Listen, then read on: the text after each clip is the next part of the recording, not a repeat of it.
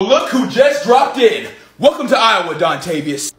Thanks for the welcome, coach. So tell me, what do you think about our facilities? I mean, they cool, but uh, what the females like around here? Well, Dontavius, I am a coach, okay? But I'll let you know right now that they love our football team. That's what I like to hear. Yeah, no need to worry about that, Dontavius. You're a star player. Yes, I am.